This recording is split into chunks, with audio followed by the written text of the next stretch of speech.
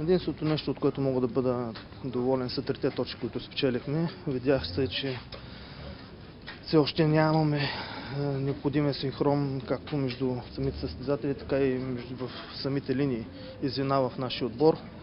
Предстои ни доста работа и единственото хубаво нещо в момента е, че спечелихме трите точки. Днеска имаше и няколко дебютанта. Как ще коментирате техния дебют а, в срещата?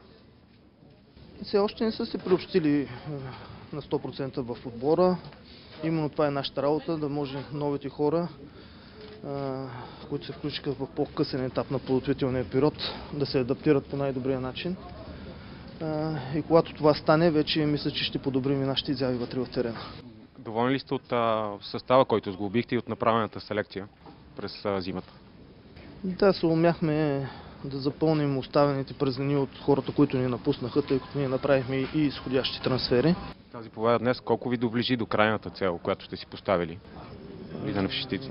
Конкуренцията е много голяма. Предстоят ни много трудни двубои. Това е една малка крачка. Важно от тук нататък вече да влезнем в необходимия игрови ритъм, добър игрови ритъм, за да се умяваме да решаваме по-рано двубоите и да не се стига до такива критични ситуации пред нашата врата. Не мога да съм доволен от резултата най-много и от първите 10 минути на матча, 10-15 минути.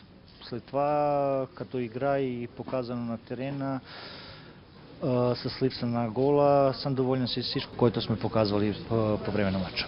Мисля, че това е седми матч за Славия, в който белите не вкарват гол при гостуване. Защо се получава така, че трудно бележите при гостуванията си?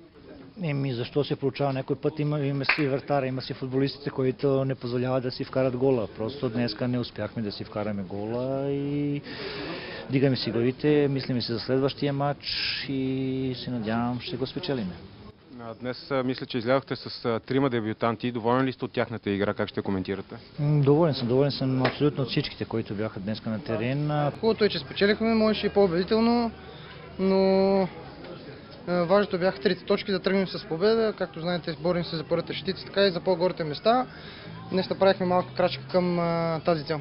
Трудно беше като че ли срещу отбора на Славия, доста тичаха белите футболисти. Да, да, Славия има млади футболисти, добър отбор е, играха тактически добре, опитват се да играят футбол. Така виждате, че те имат доста българи в състава, което е хубаво за българския футбол. Мъжки двое се получи. Доволни сме естествено, искахме да тръгнем с три точки, така все пак първи за сезона, да влезем така добре в първенството. А, След подготвителния период, който беше тежък наистина, важно беше да, така, да предвидим малко самочувствие с три точки. Мисля така, че след гола можехме така, почнахме добре мача, държахме инициативата, можеше да, да натиснем още малко отбора на своя, да вкараме втори гол, да си направим по-лек матча. Ние го направихме по-труден, но важно, е, че удържахме. Защо според теб не натиснахте още, за да вкарате и втори гол? И все пак и отбора на Славия добре се противостави срещу нас и мисля така, че и двата отбора имахме положение на ситуации и така успяхме да държим един гол пред нас. Новите попълнения почват ли вече да се приспособяват? Как виждаш ти нещата? Ами да, те са много добри футболисти и мисля така, че още с мачовете сега за първенството, вече като има и малко напрежение, всичко си дойде на мястото. Мисля така, че то повече футболисти, които тук ги познаваме, знаем ги, тъй че няма какво да се коментира. Фера Бори за втори път а, дебютира с жълто-черния екип. Как ти си струва сега в момента отбора и какъв е коментарът ти за среща днес срещу Славия конкретно? Ouais, on a une bonne équipe, euh, ça joue bien. Гру- Групата е добра, чувствам се добре. Не, не познавам много от футболисти, но смятам, че ще прогресираме след сем- следващ матч. По-силен или по-слаб ти се струва български футбол в сравнение с предишните период в България? Не, няма голяма разлика, но в никакъв случай не е и паднал надолу нивото. Чувствам го футбола, че с, може би с една идея, но на по-високо равнище. Ти лично в а, каква форма си, в какво състояние в момента? Добре се чувствам, е, хубаво, че вече попадам в групата и имам още какво да наваксам, но ще стане постепенно и в по-бързи темпове.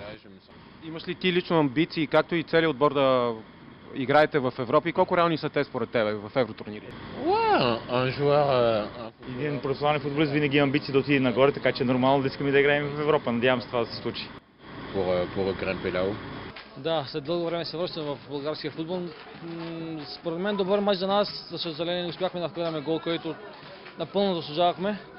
Нямахме и късмета. Получихме накрая един картон, който не смятам беше че червен картон, но така света е преценил. А, какви цели гониш ти със Славия през а, пролетния дял?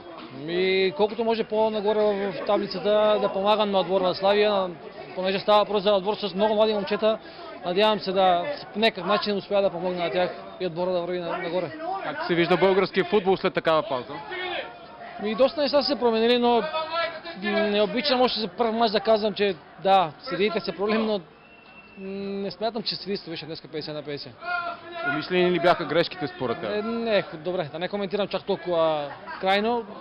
Не искам да мисля, че е било така, но често казвам, смятам, че помогна в някакъв степен на отбора на Ботев Плодив. Ти направи много силна кариера и в Левски. Какво мислиш сега за промените в клуба? Задоволен ли се според теб? Е, Сега съм в Славия, казах го и преди, може само да пожелая успех на отбора на Левски, освен на матча с Славия и от тук. Не искам повече коментирам темата Левски.